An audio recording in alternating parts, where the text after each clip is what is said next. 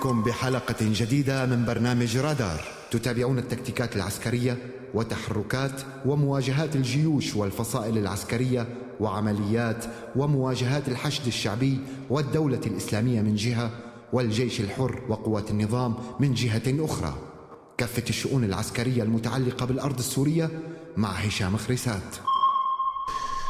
أعزائي مستمعي راديو أورينت أحييكم على موجات بثنا اليومي وأرحب بكم بحلقة جديدة من برنامجكم رادار. جميع ما يتفضل به ضيوفنا الأكارم بكل حلقة لا يعبر نهائيا عن رأي مؤسسة أورينت ولا تتبنى ملفنا لهذا اليوم كيميائي خان شيخون بين تقارير ال CIA وإجرام النظام. قال البيت الأبيض أنه على يقين من أن المعارضة لا يمكنها تلفيق كل التسجيلات والتقارير بشأن الهجمات الكيميائية فذلك بنظره يتطلب حملة عالية التنظيم والتكلفة لخداع وسائل الإعلام ومنظمات حقوق الإنسان الدولية. وقد سعى النظام وحليفته الرئيسية روسيا لتضليل المجتمع الدولي فيما يتعلق بالجهات المسؤولة عن استخدام الأسلحة الكيميائية ضد الشعب السوري بالهجوم على خان شيخون والهجمات السابقة. وزعمت موسكو أن الغازات السامة انطلقت بالأصل عقب غارة جوية للنظام على مستودع للذخيرة تابع للمعارضة بالضواحي الشرقية لخان الشيخون غير أن مصدرا عسكريا للنظام أبلغ الإعلام الروسي الرسمي أن القوات الحكومية لم تشن أي ضربة في البلدة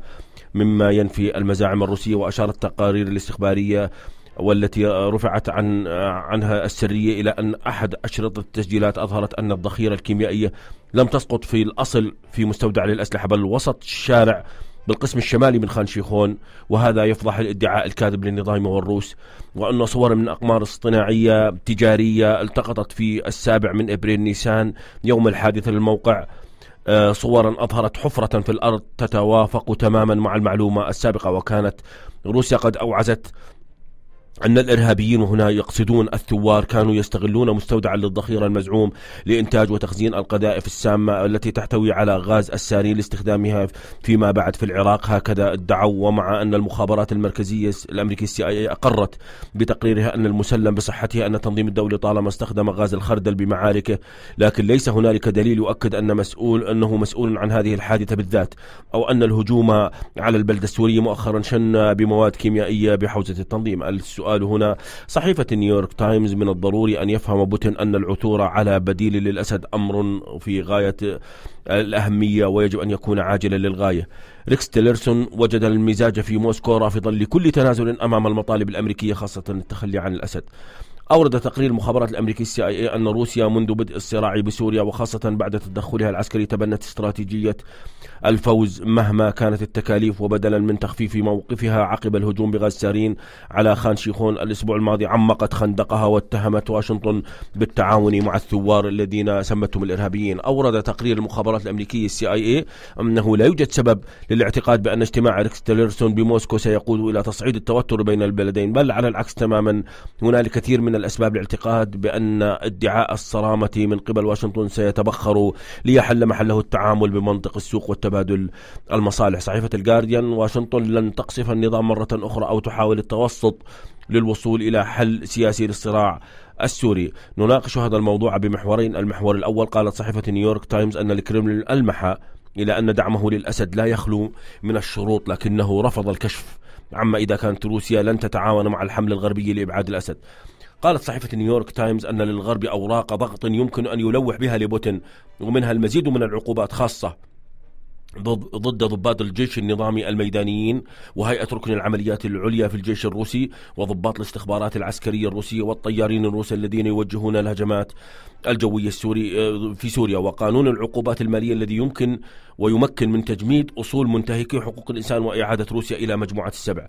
قالت صحيفة نيويورك تايمز الهدف الرئيسي في الوقت الراهن والأسابيع المقبلة هو أن يثبت الغرب لروسيا أنه من الضروري أن تتحمل روسيا مسؤولية سلوك الأسد الإجرامي لأنها هي التي أنقذته في عام 2013 عقب الهجوم بالسلاح الكيميائي وهي التي أنقذته من هزيمة محققة قبيل تدخلها العسكري في بلاد الأمر الذي يعني إقرار موسكو أنذاك بأن جيش الأسد غير قادر على كسب الحرب بمفرده المحور. الثاني صحيفة الجارديان نشرت تقرير بعنوان بوتين لن يتراجع عن سياسته بسوريا قائلة إن روسيا شددت موقفها من سوريا بدلا من تخفيفه وأن بوتين استخدم خلال السنوات الخمس الماضية ملايين الأطنان من الأسلحة وأنفق عشرات المليارات من الدولارات وحصل على وضع سياسي مهيمن هنالك وحضور مميز في المنطقة وأصبح قوة دولية صاعدة بسبب دعمه للأسد وسيفقد كل ما حصل عليه إذا تخلى عنه. سنناقش هذا الموضوع من جوانبه العسكرية والاستراتيجية والأمنية المتعددة مع ضيوفي لهذه الحلقة كل من المحلل العسكري والاستراتيجي حاتم الراوي وسيادة العميد الركن الطيار عبد الهادي الساري وسيادة العقيد الركن الطيار إسماعيل أيوب.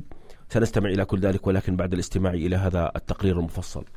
كشف البيت الأبيض النقاب عن تقرير سري للمخابرات الأمريكية CIA أكد أن حكومتي النظام وروسيا حاولتا تضليل العالم عبر معلومات خاطئة وروايات ملفقة عن الهجوم بالغازات السامة الذي تعرضت له بلدة خان شيخون شمال سوريا الأسبوع الماضي.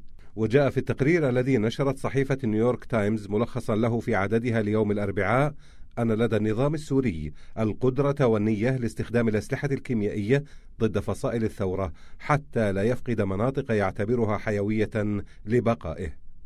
ووفقا لتقييم المخابرات الأمريكية فإن نظام دمشق شن هجومه الكيميائي ردا على هجوم المعارضة في شمال محافظة حماة ما هدد البنية التحتية هناك واتهم التقرير كبار قادة النظام العسكريين بضلوعهم في ذلك الهجوم وتشير معلومات توفرت لدى أجهزة المخابرات الأمريكية أن النظام وضع غاز السارين السام في طائرات حربية من طراز سوخوي 22 أقلعت من مطار الشعيرات الواقع تحت سيطرة النظام.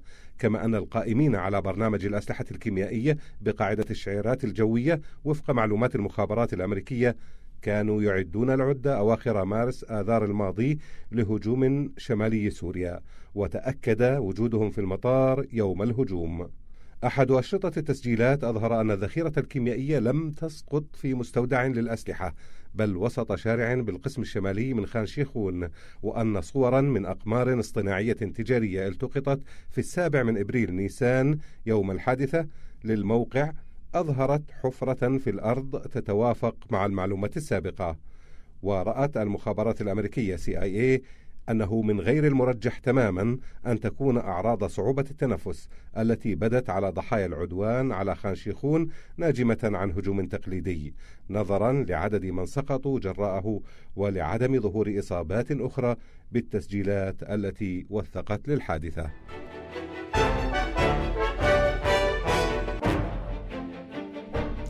نرحب بضيوفي على المحور الأول السادة الطيارين كل من المحلل العسكري والاستراتيجي الطيار حاتم الراوي وسيادة العميد الركن الطيار المجاز عبد الهادي الساري وسيادة العقيد الركن الطيار إسماعيل أيوب.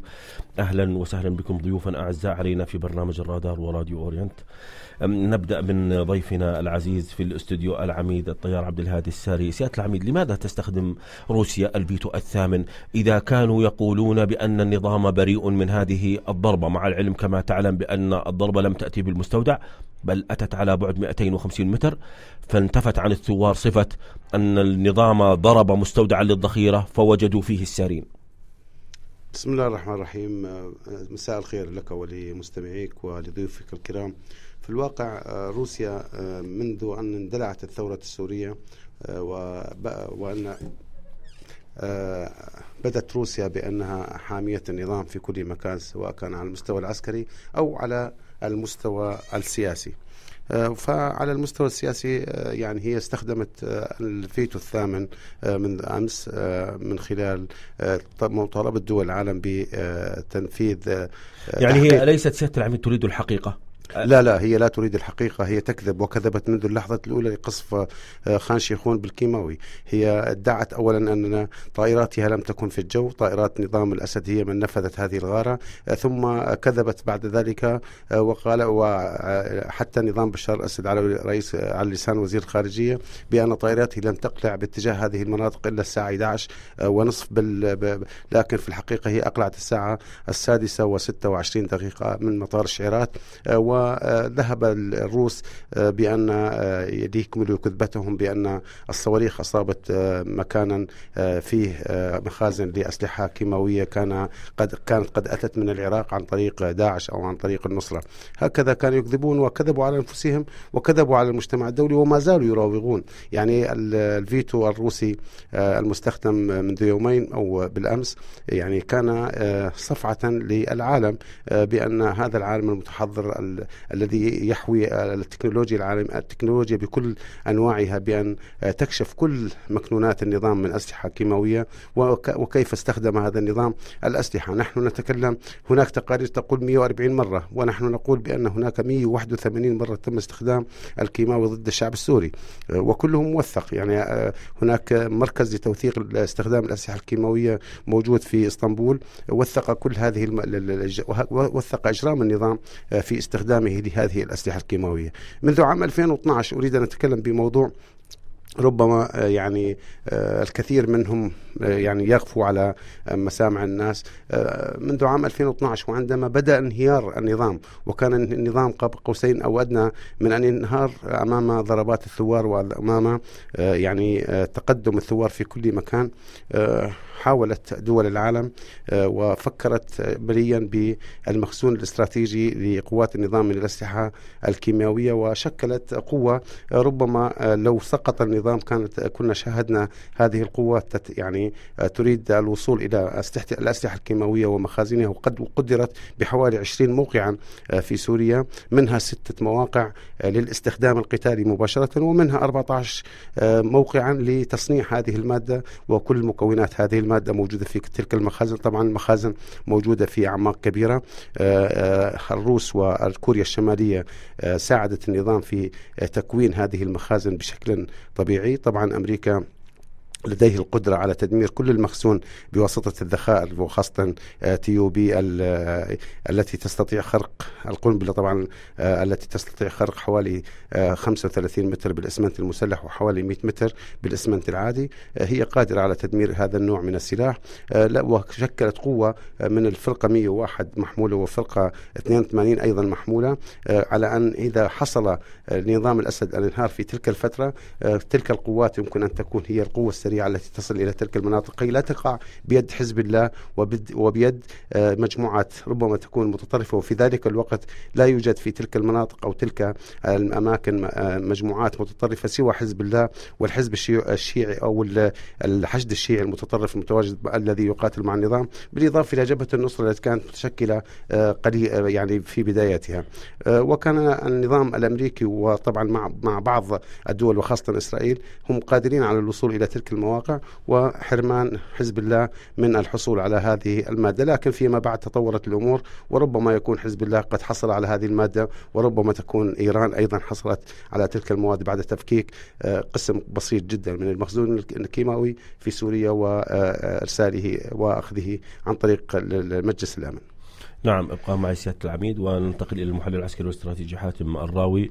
زعمت موسكو أن الغارات السامة انطلقت عقب غارة جوية للنظام على مستودع للذخيره تابع للمعارضة بالضواحي الشرقيه لخان شيخون غير أن مصدرا عسكريا سوريا أبلغ تابع للنظام أبلغ الإعلام الروسي الرسمي أن القوات الحكومية لم تشن أي ضربة جوية في البلدة مما ينفي المزاعم الروسية. فلماذا هؤلاء الروس أول لا ينسقون مع النظام؟ ولماذا يحمونه بهذه الطريقة؟ يعني خطاب آه، خطاب بوتين وهو أن لديه معلومات استخبارية وأنت تعلم لا استخباراتهم ليس لها أي علاقة بالعمليات الخارجية. قال بأن هنالك لديهم معلومات بأن السي آي اي يعد العدة لضربة آه، كيميائية وبالتالي سيلصقها بالنظام. وإذا قرأتها بين السطور ستتأكد بأنهم ينوون أن يضربوا الثوار في هذه المنطقة في قابون والبرزة. بالكيميائي يعني سلفا من أجل أن يعني يشاهدوا ردة الفعل التي يمكن أن يلجأ لها الأمريكان. سلامي لك دكتور هشام ولضيفيك الكريمين وللسادة المستمعين. هلا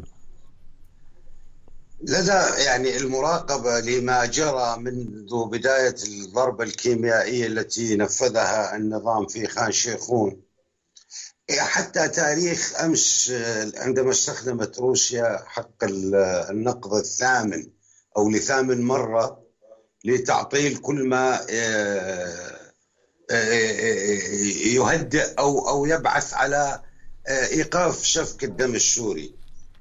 نجد أن النظام وروسيا حتى اليوم حتى هذا التاريخ لم يتفقا على سيناريو للدفاع عن الضربة. فما زال النظام يقول أن طائراتنا أقلعت بعد الساعة 11 ظهرا وروسيا تؤكد أن الطيران لا أقلع الطيران بكير وضرب مستودع للأسلحة وإلى آخر الرواية. ما تبين بوضوح فعلا أن الضربة لم تأتي في أي مستودع من مستودعات من يسميهم النظام أو الروس بالإرهابيين. أي أن الضربة لأن إحدى القذائف سقطت في أحد الشوارع وهي مثبتة ومصورة وشهود العيان أثبتوا كل شيء. هذا واحد. عفوا. ليه الجرحى. أو المصابين الذين آه، وصلوا إلى تركيا في ثلاث مواقع طبية. المواقع الثلاثة أكدت بتقاريرها أن الإصابة ناجمة عن غاز السارين. الآن لو ذهبنا مع رواية الروس بأن مستودعات تحوي على غاز السارين وقصفت من قبل النظام لنحصل على غاز السارين مصنع ومجهز. وهذا يعني أتعدى عن عن على اختصاص آه، الضباط الكيميائيين. وأتكلم فيه من خلال المعلومات التي تصلنا. يحتاج إلى عمليات معقدة جدا تعجز عنها المجموعات إلى الوصول. يعني قد تستطيع هذه المجموعات تصنيع غاز الكلور مثلا. وهذا معروف. أما أن تصل إلى مستوى تصنيع غاز السارين وإعداده جاهز للسميه فكما تعلمون أن غاز السارين يتألف من أربع عناصر. الأربع عناصر معقدة أصلا للحصول على كل عنصر على حدة ثم لجمع هذه العناصر بطرق معقدة جدا للوصول إلى غاز السارين وسميته فهو يحتاج إلى معامل ضخمة وإلى إمكانيات عالية جدا. لا لا لا يعني لم نحصل على أي مؤشر. ولم يحصل أحد في العالم على أي مؤشر بأن أي فصيل مسلح من داعش إلى أصغر فصيل إيه، لديه الامكان إمكانية الوصول إلى تصنيع مثل هذا الغاز. هنا نقف بسؤال مشروع يطرحه حتى الموالاة تطرحه وأنا سأذهب هذه المرة مع الموالاة وأقول أن بشار الأسد بدأ يظهر بمظهر المنتصر والساحة شبه بدأت تخلو له ولاحظنا نحن آه، حتى وفده في المفاوضات جاء مستخفا بالغير ومستهترا ويتكلم بلغة إنه يعني آه، شراذم آه، عم تقتل بعضها وناس غير قادرين يعني على على حتى الاستمرار لو تركناهم جايين والله بدهم يفاوضوا بدهم يشاركوا بالحكم وما إلى ذلك. فوصل إلى حد ال ال الاستهتار والإطمئنان تماما بأن الأمور آه، باتت بيده. فلماذا يضرب غاز السارين في منطقه لا تشكل أي خطورة عليه؟ هكذا يسألون. يا سيدي أقول ما أؤكد عليه ولم يذهب معي أحد وأعتقد أنكم أنتم شخصيا لن توافقوني على هذا الكلام. لكن أنا مصر على هذا الكلام بأن ال... وكلنا نعلم أن النظام يعمل ب... ب... ب... برضوخ شديد جدا لإيران ولإيحاءات إيران ولا يخرج نهائيا عن شور إيران. أنا أجد أن إيران عندما تيقنت بأن روسيا وأمريكا وإسرائيل اتفقوا على إخراج إيران من سوريا وبالتالي ستشكل ضربة قاصمة وقاتلة لإيران إخراجها من سوريا آه، خاوية الوفاض وبدون أي مكاسب ومطرودة طردا. نعم. أجبرت النظام بطريقة لا أستطيع أن أصل إليها يعني لا أعرف كيف فرضت على النظام القيام بهذه الضربة. لتفعل هذا الشرخ وتخلط الأوراق وتصل إلى مرحلة أن يختلف الروس والأمريكان لتكون هي الفائز أو على الأقل على الأقل إذا اختلطت الأوراق في سوريا فسوف يطيل بعمر بقائها في سوريا. فالمسؤول أولا وأخيرا الذي نفذ هو النظام لكن النظام لا يملك من أمره شيء. النظام يؤمر فيطيع وينفذ. أنا أذهب إلى أن إيران فرضت على النظام بطريقة أو بأخرى قصف هذه المنطقة بغاز السارين وضوحا ويعني لم يعد أي غطاء آه، ممكن أن يغطي على هذه الجريمة أو ممكن أن يميعها. الجريمة واضحة وضوح الشمس. لتحصل على هذا الشرخ ومن خلال هذا الشرخ تستطيع أن تعيش وتربو في هذه المنطقة وتطيل عمرها في سوريا. نعم. ابقى معي آه، سيادة العميد مشكورا وننتقل إلى سيادة العقيد ركن الطيار. إسماعيل أيوب. أهلا وسهلا بك زميلنا العزيز. يعني هنالك مصطلح عسكري معروف. اليأس الذي يصيب قائد عسكر قائدا عسكريا أو رئيس دولة هو الذي يجعل السلاح النهائي هو السلاح الكيماوي. هل فعلا توصل هذا النظام والحشد الشيعي الشعبي الصفوي والروس إلى نتيجة مفادها بأن الشعب الروسي لم يعد شيء قادر على أن يوقف ثورته وبالتالي أخذوا يلجؤون إلى الأسلحة الكيماوية لأنه سلاح اليائس بسم الله والصلاة والسلام على رسول الله. بعد تحية لك ولكل الضيوف الكرام والمستمعين الكرام.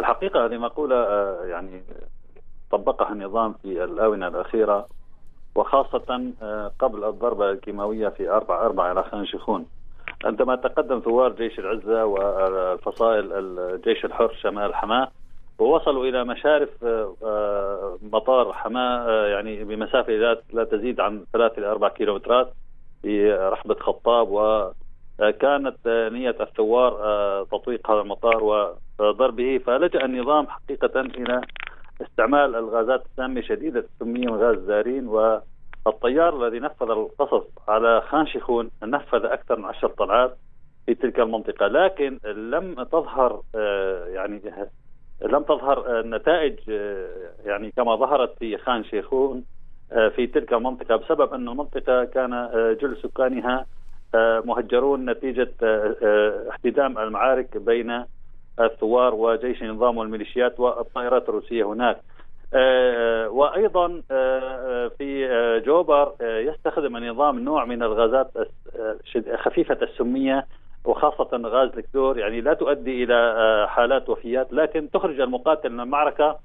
آه، وهذا يعني آه، آه، وهذا الغاز غاز دكتور أو الغاز ذو السمية الخفيفة الذي يؤدي إلى فقط خروج المقاتل المعركة استخدمه النظام أكثر من 210 مرات وهذه أمور موثقة. أما يعني إذا عقبت على يعني سؤالك للزملاء بعدم استخدام النظام أو بادعاء الروس آه، النظام لم آه، آه، يعني يستخدم السلاح الكيميائي في خان شيخون هناك تضارب كما ذكر الزملاء بين المقولة الروسية بأن النظام استهدف مصنع أو مستودع للذخائر وأن وليد المعلم صرح على شاشات التلفزيون بأن أول طائرة سورية أقلعت كانت الساعة 11 ونصف بعد الظهر. لكن الحقيقة أن الضربة نفذت من مطار الشعيرات بقوام أربع طائرات طائرتين سخوي 22 وطائرتين سخوي 24 آه، واحدة منها كان يقودها العميد آه، محمد حاصوري آه، نائب قائد لواء وكانت محملة بأربع قنابل من الغازات السامة. والضربة كانت ما بين الساعة السادسة و 38 دقيقة وبين الساعة السادسة وثمانية خلال دقيقتين نفذت هذه الضربة. والدليل على ذلك أنه في اليوم التالي 5 أربعة تم تكريم هذا المجرم في مطار الشعيرات من قبل رئيس أركان جيش النظام العماد علي آه، آه، رئيس أركان القوى الجوية اللواء سجيع درويش وهؤلاء يعني من أكثر المجرمين نحن نعرف سجيع درويش بشكل شخصي وهم أكثر المجرمين في سوريا. آه، وأضف إلى ذلك يعني يعني كما تفضل ضيفك سيادة العميد الراوي يعني غاز الزارين يعني لا يمكن لدول يعني بمنطقة الشرق الأوسط أن تصنع هذا الغاز. غاز زرين يصنع بكفاءات عالية في دول آه، كبيرة جدا في دول متطورة لديها مختبرات لديها علماء. يعني هذا هو آه، الروس استخدموا حق النقض الفيتو حتى يحموا رؤوسهم لأنهم أعتقد وهناك دلائل أن الروس كانوا على علم بالضربة والضربة الصاروخية الأمريكية على مطار الشعيرات عرت الروس وظهر أمام أحد الافيولات المصابة أحد أفيولات الطائرات مصابة. هناك كمية كبيرة من عبوات الفارغة للغازات السامة الروسية والتي قورنت بمثيلاتها في أحد يعني المصانع في روسيا. وهذا ما بات جليا للقاصي والداني حتى الذين لا يفهمون بهذا المجال. أصبحوا على درجة عالية من الثقة أن النظام استخدم السلاح الكيميائي. فضلا عن ذلك يعني إذا شهدت الحفرة التي نجمت عن القصف يعني لا تتعدى 20 سنتيمتر وهذا بالضبط يعني مطابق لعبوات أو للقذائف الجوية التي تحمل سلاح نووي. إذا يكون صوتها خافت لا لا تحدث حفر في الأرض إنما الغاية هي يعني انتشار هذا الغاز في ذلك المكان وإخراج أصلا الغاز صنع للضرب للمقاتلين في ساحة المعركه وليس في في في المدن السكنية. وهذا ما يعطي بعدا آخر لهذه الجريمة وهو استهداف المدنيين بشكل مقصود وهذه جريمة حرب يعاقب عليها القانون. ولكن سيادة العقيد يعني يعني عفوا للمقاطعة يعني لماذا على الرغم انهم علموا قبل ساعتين الروس؟ لماذا أين صواريخ ال SS 400 هذا السؤال يسأله الشارع ومجلس الدوما يقولون لهم لماذا لم تعترضوا؟ لماذا لم تجربوا اعتراض هذا النوع الحديث من صواريخ التومهوك الذي سلم بنهاية عام 2015 لماذا لم يرى على شاشات رادار ال S 400 آه يعني بشكل عام إذا أردنا أن نتكلم استراتيجيا يعني أي أي تماس مباشر بين هاتين الدولتين يمكن أن يسبب كارثة على المستوى العالمي. هذا من, يعني هل الروس كانوا قادرين مثلا على إسقاط جميع هذه الصواريخ؟ أعتقد أن الصاروخ توماهوك يعني بالنسبة لروسيا هو صاروخ يعني من السهل إسقاطه. كما تعلم الصاروخ توماهوك هو صاروخ بطيء السرعة يطير ما بين سرعة 800 و 1000 كيلومتر في الساعة. ولكنه يطير على أقل من 50 متر. نعم نعم. هناك وسائط قادرة على إسقاط هذا الصاروخ وكما تعلم أن توماهوك أسقط العراق منه 165 صاروخ أثناء الحرب عاصفة الصحراء على العراق. لكن هذه الميزة التي يعني يتميز بها في الطيران ارتفاع منخفض تصعب من إسقاطه. لكن كما قلت لك يعني الاعتراض مثل هذه الأمريكان أخبروا الروس بأننا سنضرب قاعة تشعيرات هناك حوالي 100 ضابط وعنصر في مطار شعيرات للروس. أبلغوهم حتى لا يقتل أحد منهم وتكون حجة للروس لأنهم استهدفوا الأماكن التي يكون فيها الروس لكن أنا أعتقد أنه في البعد الاستراتيجي الروس يعني غير قادرين ليس غير قادرين عسكريا غير قادرين سياسيا على تحمل تبعات اعتراض الصواريخ الأمريكية.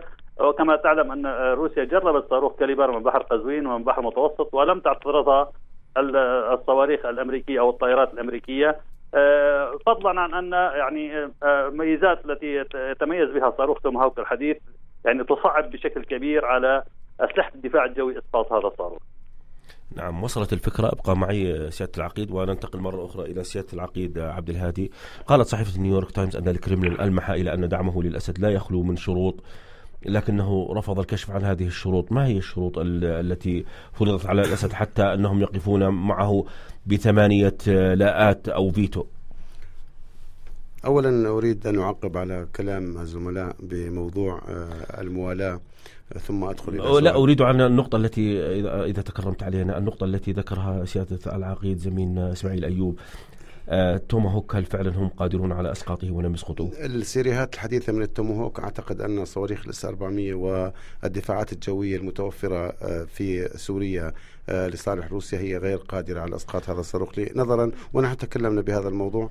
الصاروخ توماهوك يحمل حماية يحمل وساطة حماية ذاتية صحيح. وخاصة التشويش. وهي قادرة على تشويش رؤوس رؤوس الصواريخ الدفاع الجوي. وبالتالي وهو يطير بسرعة 880 إلى 1000 كيلومتر بالساعة. بالإضافة أنه يطير على ارتفاع 15 كيلومتر عن طريق المطابقة. 15 متر عفوا عن طريق المطابقة. وأعتقد أن وساطة الدفاع الجوي المتوفرة هي غير قادرة على إسقاط هذا الصاروخ. ولو كان هناك في إمكانية لإسقاط الصاروخ لا أعزوا إلى صواريخ النظام المتواجدة هناك الاس 300 وهي تحت قبضة النظام السوري بأن يعترض مثل هذه الصواريخ لكن هو غير قادر في الواقع على يعني اصطياد هذه هذه لأنها كانت تسير بالمنخفضات نعم يعني أو نعم, نعم نعم. هو هو صاروخ طبوغرافي ويعتمد على المطابقة ويطير على ارتفاعات منخفضة جدا وبالإضافة إلى أنه يحمل وسائط حماية ذاتية. يعني هذا الموضوع يعني معروف و وصلت نعم.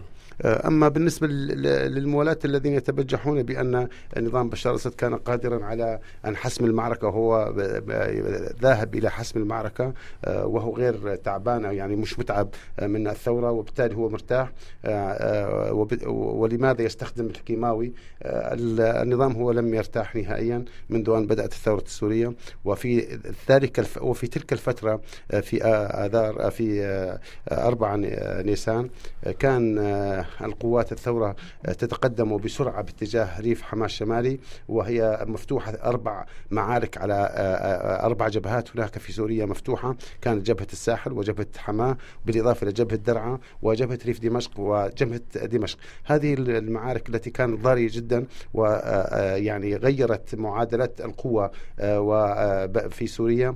مما أرضخ النظام حتى أن النظام عندما ذهب إلى جنيف كان واثقا بأن قوات الثورة هي تضغط وكانت ضاغطة جدا وخاصة معركة دمشق ضاغطة جدا وبشكل آه، لأنها أرسلت رسالة قوية للنظام أننا موجودون وأننا قادرين على آه، تغيير أوراق اللعبة. وبالتالي هو كان غير مرتاح وبالتالي استخدم الكيماوي آه، ظنا منه أنه يفلت من العقاب لكن إدارة ترامب وكانت هاي تجربة كبيرة جدا لإدارة ترامب بأن تستخدم ما استخدمته علما أن هذه الضربة التكتيكية هي لم تحدث ضررا كبيرا آه، لم تدمر آه، آه، قوى النظام لم تكون ضاغطة على قدرة النظام القتالية لكنها كانت عبارة عن مجموعة من الرسائل السياسية أرسلت إلى النظام وداعمي النظام وخاصة روسيا. بالأمس شاهدنا كيف أن تيرلسون ذهب إلى روسيا وذهب بمطالب وليست مباحثات. هو ذهب بمطالب أنكم إما أن تكونوا معنا ومع الشرعية الدولية أو أن تتمسكوا بنظام بشار الأسد. فعلى ما يبدو يبدو أن الروس ماهون وذاهبون باتجاه التمسك ولكن هذه الشروط أي ما هي الشروط؟ الشروط هو أن آه، آه، نظام بوتين آه، يعني يريد أن يبقى في سوريا يريد أن يحتفظ بقواعده في سوريا يريد أن يحتفظ بالمياه الدافئة في شرق البحر المتوسط على حساب الشعب السوري وحساب الدم السوري يريد أن يستغل الغاز السوري والذي هناك دراسات كثيرة جدا تقول بأن سوريا ستكون ثالث أكبر دولة في العالم مسطرة للغاز وهي مطامع آه، مطامع روسيا آه، بدت الآن واضحة من خلال حماية النظام آه، سواء في المحافل الدولية أو عن طريق العمل العسكري. والثاني يوم بالضبط من تنفيذ غارة الكيماوي على خان شيخون شاهدنا كيف أن كفر زيتة واللطامنة تم استهدافها بالغازات أو بالوسائط الحارقة من قنابل الزاب والفزاب المحرقة والنابال المحرق والفوسفور الأبيض. كل ذلك تم استخدامه في ثاني يوم من استخدام الكيماوي. دليل على أن النظام ذاهب إلى ما هو ذاهب عليه لكن إدارة ترامب آه، من خلال جديتها ولاحظنا هذه الجدية من خلال آه، اجتماع مجلس الأمن وتصرف آه، هيلي والذهاب باتجاه تهديد روسيا بأن عليكم أن تتخلوا عن هذا الأسد وأن تكونوا مع المجتمع الدولي بالإضافة إلى أن ترامب بالأمس وصف هذا النظام أو رئيس هذا النظام بالحيوان وهي إهانة يعني كبيرة جدا لو أن آه، آه، نظام بشار الأسد وبشار الأسد بالذات آه، يستحي على نفسه لأن يتنحى من هذه اللحظة لأنه سبب إلى سوريا هذه الإهانة. هي إهانة إلى كل سوريا لكن الإهانة الأساسية هو له وبالتالي عليه أن يتنحى ويذهب. حتى مؤيدي هذا النظام يعني في العراق يعني نسيت اسم هذا المرجعية الدينية آه، آه، الصدر. الصدر. مقتضى الصدر. مقتضى الصدر. طلب من بشار الأسد التنحي وألا يكون سيكون مصيره مصير آه، معمر القذافي. يعني كل الأشياء الدلائل تشير على أن هذا النظام نظام مجرم نظام قاتل. والمقولة الصحيحة التي تقول بأن الدكتاتوريات في العالم هي تجلب الاستعمار لبلدها. ونظام بشار الأسد هو من يجلب هذه هذه القوى الدولية التي يمكن أن تسيطر تسيطر على مقدرات الشعب السوري وهذا نتيجة ودليل ودلالة على أن هذا النظام نظام دكتاتوري شمولي هو من آه، افتعل كل الحروب وافتعل كل التدمير في سوريا. مشكور ابقى معي. وننتقل مرة أخرى إلى المحلل العسكري والاستراتيجي حاتم الراوي أستاذنا الكبير آه، صحيفة الجارديان وقالت أن واشنطن لن تقصف نظام الأسد مرة أخرى. بل تحاول التوسط للوصول إلى حل سياسي للصراع السوري. هل فعلا هذه العقيدة التي يتمتع بها ترامب أم أنه فعلا إذا تم ضرب الكيماوي مرة أخرى فإنه آه، سيتم سيواجه مصيرا أشد من ما واجهه في المرة الأولى؟ والله بالنسبة لنوايا الإدارة الأمريكية الجديدة آه، لم نعد يعني آه، قادرين على التكهن بما تنوي وبما ستفعل. يعني وكأن الإدارة الجديدة تحاول بأي طريقة إعادة الهيبة إلى أمريكا. أما عن يعني إعادة الهيبة إلى أمريكا التي أفقدها إياها أوباما وإدارته على مدى ثمان سنوات وخاصة من خلال التعامل مع آه، القضية السورية وارتداداتها آه، الدولية.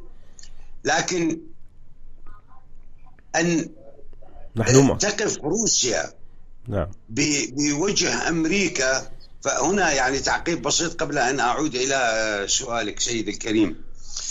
أن تقف روسيا بوجه أمريكا صراحة كما نوه الزملاء فهذا ما لا تقدر عليه روسيا. وإلا هناك سؤال أبسط من ذلك بكثير جدا. سؤال خارج كل مواصفات الصواريخ. صحيح. عندما أبلغت أمريكا لروسيا أننا سنضرب مطار الشعيرات بهذه بهذا الوضوح وبهذه الصراحة. لماذا لم تقل لهم روسيا لا, لا أسمح بضرب هذا المطار وأنتم تريدون مني أن أخرج عناصري من المطار كي لا يصابوا؟ لا أنا سأبقي عناصري في المطار وسأحاول التصدي لصواريخكم وأنتم إذا ضربتم المطار ونحن موجودين فيه فهذه مبادرة بمواجهة عسكرية من قبلكم أما الذي حصل أن روسيا مباشرة آه، رضخت للأمر وسحبت عناصرها من المطار ولم تحرك ساكنا أمام آه، آه، الصواريخ. أما عن تماهل الإدارة الأمريكية الجديدة يعني عودة إلى سؤالكم. التماهل بإزاحة بشار الأسد أو بضرب بشار الأسد ونحن نعرف تماما أن أمريكا عندما تريد يعني 59 صاروخ أطلقتها على مطار الشعيرات يعني كانت قادرة على إطلاق التسعة الفراطة هذول الفوقانيات على آه، آه، القصر الجمهوري وعلى مكان تواجد بشار الأسد وهم يعرفون تحركات بشار الأسد بالدقيقة. لكن يبدو أن الإدارة الأمريكية الجديدة أيضا لا تريد أن تتصرف بردة فعل سريعة وتزيح النظام وتدخل البلاد بفوضى قد لا تستطيع السيطرة عليها. يعني قد لا تستطيع أن أنت تعلم أن قوى كثيرة اليوم آه، على الأرض وقوى متشادة غير متناغمة موجودة على الأرض ووجود الروس والميليشيات الشيعية الإيرانية ومن لف لفهم ووجود حزب الله في سوريا وبقايا النظام أيضا بالإضافة إلى فصائل المعارضة التي يعني آه، آه، بدأت تظهر كل فصيل وكأنه يعني ذو أجندة مختلفة عن الأخرى. هذا ما يجعل أمريكا تتماهل بإزاحة هذا النظام. أما إزاحة هذا النظام فهي يعني أنا لا أريد أن أقول قد حصلت إنما هي حاصلة حاصلة. نعم. ابقى معي آه، محللنا العسكري وننتقل مرة أخرى إلى سيادة العقيد الركن إسماعيل أيوب سيادة العقيد. أورد تقرير المخابرات الأمريكية ال CI أنه لا يوجد سبب للاعتقاد بأن اجتماع ريكس تيلرسون بموسكو سيقود إلى تصعيد التوتر بين البلدين. بل على العكس هنالك كثير من الأسباب للاعتقاد بأن ادعاء الصرامة من قبل واشنطن سيتبخر ليحل محله التعامل بمنطقة السوق. هل يراهن النظام على هذا هذه العلاقة أم أنه فعلا لا يمكن التنبؤ بتصرفات ترامب؟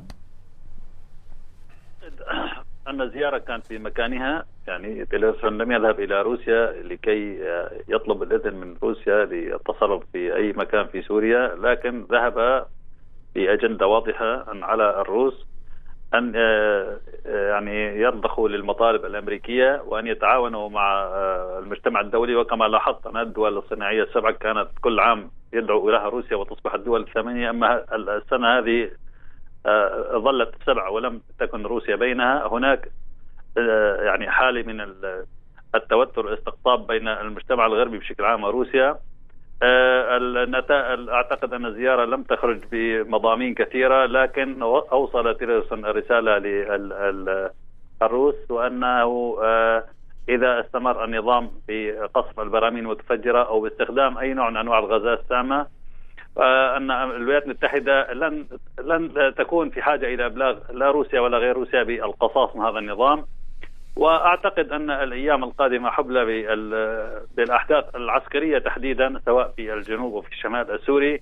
وكما لاحظت يعني آه، وصف أول مرة آه، نرى في العالم أن رئيس يصف رئيس بأنه حيوان وأنه شرير جدا وأنه آه، كما قالت نيكي هيلي أمس بعد استخدام روسيا حق الفيتو أن باتت أيامه قليلة. هذا النظام باتت أيامه قليلة. يعني أعتقد أن كانت رسالة يعني تحمل مضامين كبيرة.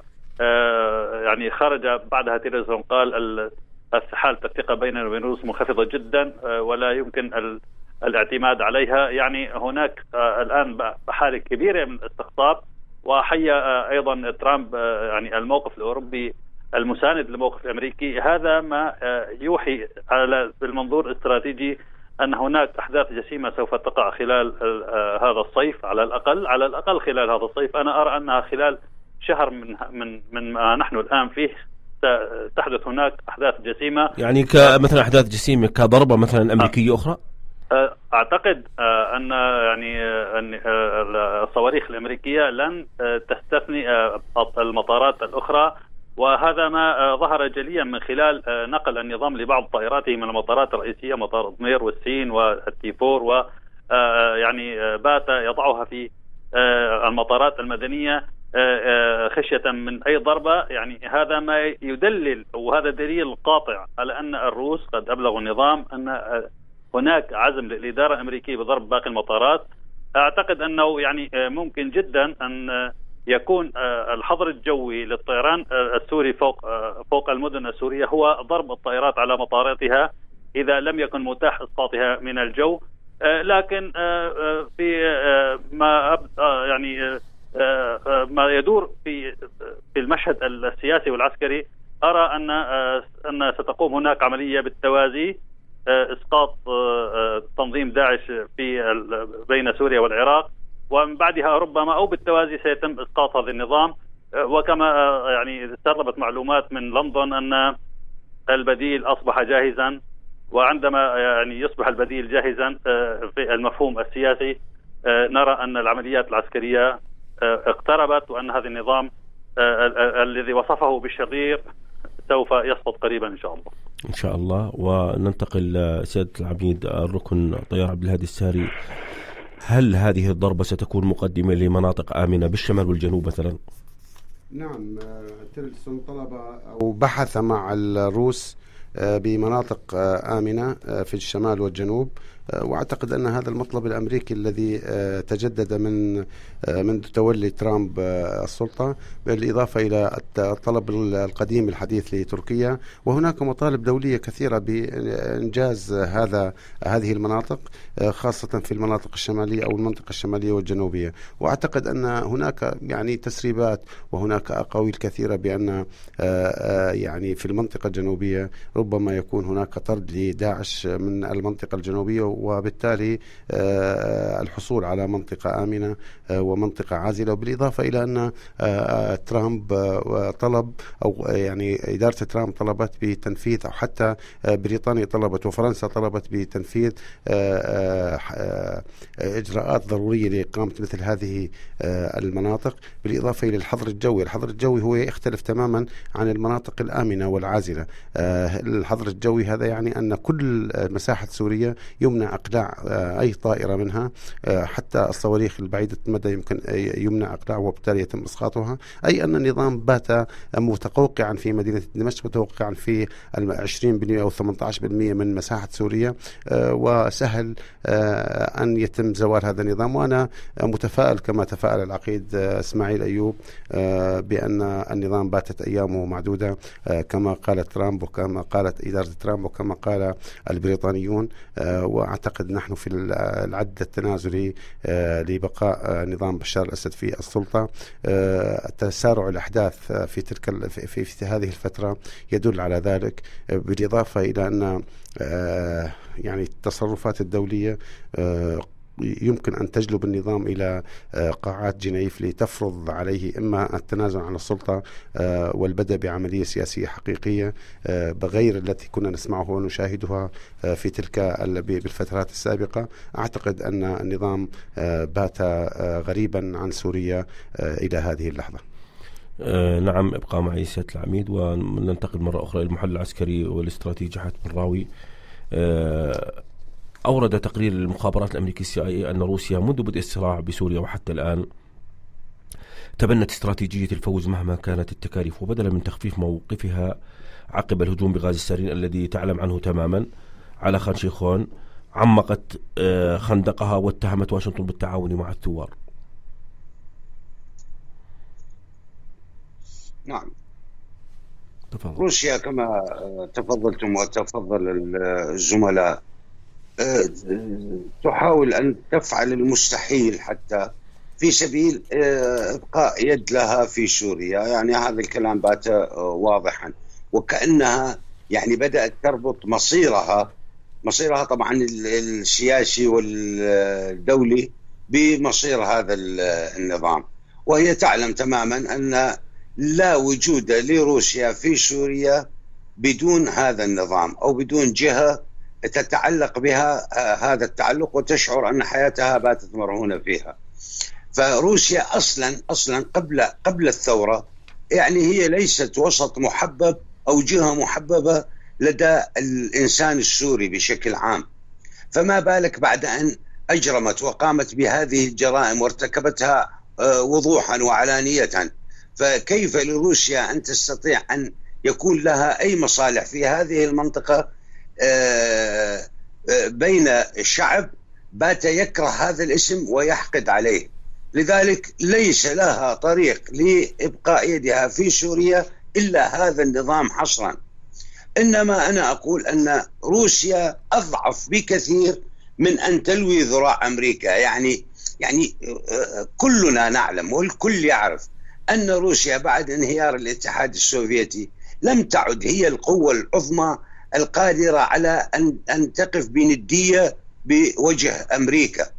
وخاصة بعد أن وجدنا أن روسيا باتت آه، شبه معزولة. يعني حتى الصين حتى الصين نجد أن مواقف الصين مؤخرا بعد ضربة مطار الشعيرات آه، لم آه، تقف الموقف الذي يعني يساند روسيا كما كانت معتاده حتى البارحة في مجلس الأمن الصين لم تستخدم الفيتو إنما آه، امتنعت عن التصويت وهذه أيضا إشارة كبيرة. اذا باتت روسيا وحيدة في الميدان يعني تساندها إيران وإيران قوى شر يعني وإيران آه، ليست بسلوك الدولة. إيران هي سلوكية العصابة التي تعيش في مناطق اللا دولة. يعني أينما وجد لا دولة توجد إيران. يعني هذا حصل في لبنان وحصل في العراق وحصل في اليمن وحصل في سوريا لذلك أين المساندة التي ستدعم روسيا لتستطيع ان ان تلوي ذراع المجتمع الدولي كاملا وخاصة بعد الجدية الملموسة من قبل الإدارة الأمريكية الجديدة. نعم ابقى معي محللنا العسكري ونعود مرة أخرى إلى سيادة العقيد ركن الطيار إسماعيل أيوب قالت صحيفة نيويورك تايمز أن للغرب أوراق ضغط هائلة يمكن أن يلوح بها لبوتين ومنها المزيد من العقوبات خاصة على ضباط الجيش النظامي ضباط الاستخبارات العسكرية والطيارين الروس. هل فعلا هذه العقوبات ستكون رادعة ومؤثرة على هذه المجموعات؟ وخاصة أن قانون العقوبات المالية يمكن من تجميد أصول منتهكي حقوق الإنسان. وبالتالي ف يعني سيكون المسؤولين عن هذه العمل الإجرامي سيكونوا في ورطة في في روسيا. أن يعني آه، العلاقات الاقتصادية بين روسيا وأوروبا هي رقم واحد على مستوى العالم بالنسبة لروسيا ويعني أعتقد أن يعني أول ورقة ضغط يمكن أن تستخدمها الدول الأوروبية والولايات المتحدة على روسيا هي الورقة الاقتصادية وهذا ما يشل حقيقة الاقتصاد الروسي يعني كما تعلم أي دولة تقاطعها الولايات المتحدة وتأمر حلف حلفها بمقاطعتها يعني تصبح في حالة مزرية، أما بالنسبة ل يعني مقاضاه الضباط والعسكريين و, و يعني أنا النظام الروسي هو نظام آه، شمولي في لبوس نظام ديمقراطي يعني يشبه إلى حد كبير النظام السوري. هو نظام ديكتاتوري كما رأيتم يعني بوتين عندما حكم ولايتين. آه، لا يحق له ولاية ثالثة. نقل كل سلطات الرئيس إلى رئيس الوزراء ورشح ميدفيديف. وعندما عاد إلى السلطة أيضا انتزع سلطات رئيس الوزراء وعاد إلى نفسه. لكن أعتقد آه، كما قلت لك أوراق الضغط أوراق آه، يعني آه، اقتصادية. أضف إلى أن هناك علاقات يعني آه، فضائية وعسكرية. يعني الأوروبيين والأمريكان يمولون مركز الأبحاث الفضائية الروسي.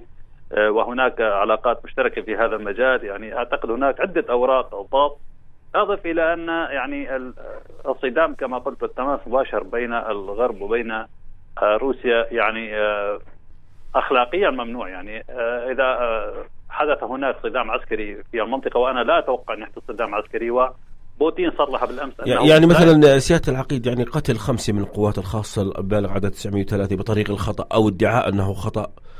سيوتر العلاقات. ضرب أربع خمس جنود بصاروخ توماهوك بالخطأ لأنهم أصبح الجنود الحشد الشيعي مع الروس مدمجين. سيوتر العلاقة.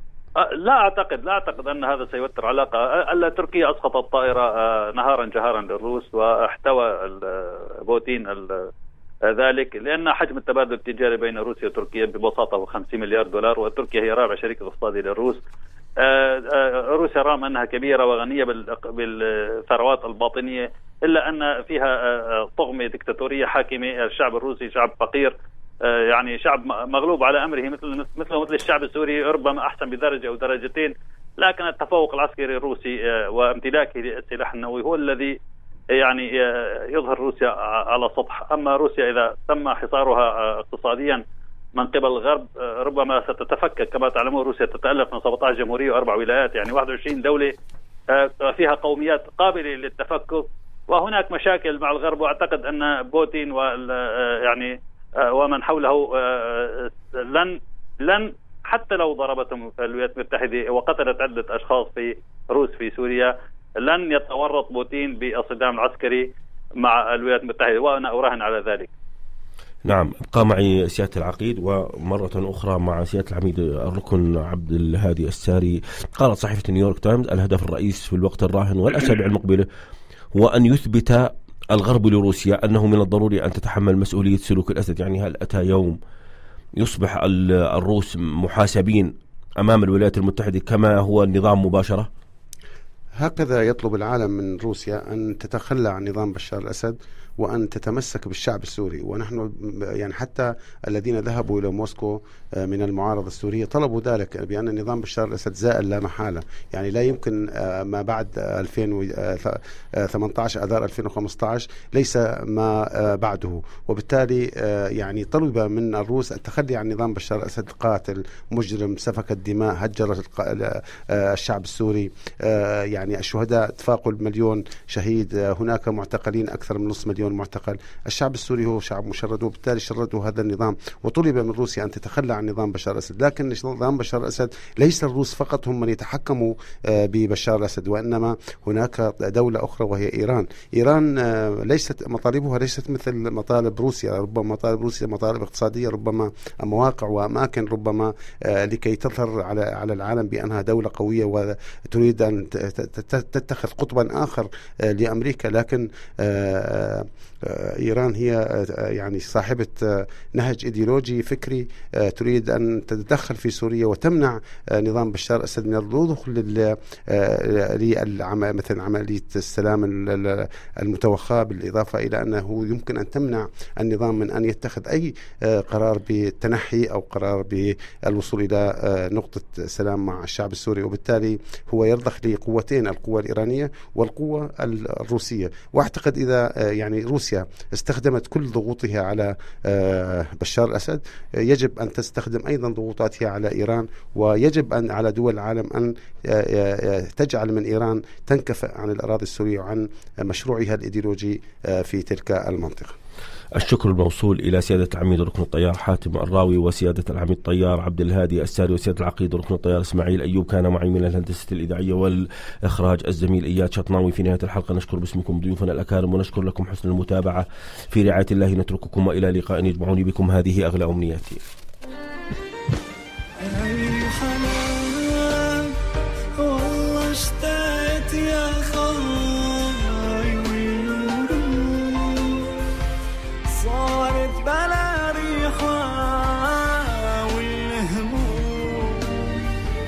تابعونا على راديو أورينت بحلب وريفا 95.8